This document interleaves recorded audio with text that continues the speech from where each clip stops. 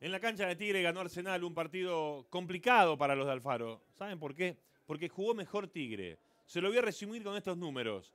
10 posibilidades de gol para el local, 4 para el visitante. Claro, el visitante tiene oficio.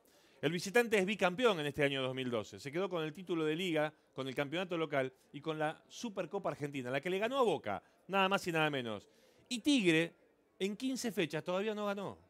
De alguna manera estos números tienen que resumir un poco la realidad del equipo de Victoria. Pero claro, si usted mira el desarrollo del partido, se va a dar cuenta que los números mienten. Tigre jugó mejor, tuvo la pelota, circuló, llegó por derecha y por izquierda.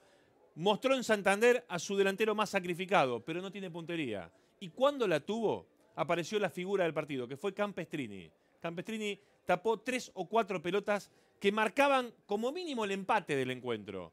Claro, hay que darle un párrafo aparte a la labor de Toya. Toya se equivocó para los dos. A veces benefició a Arsenal y a veces benefició al equipo de Pipo Gorosito. Por ejemplo, tendría que haber echado a Orbán y no lo hizo.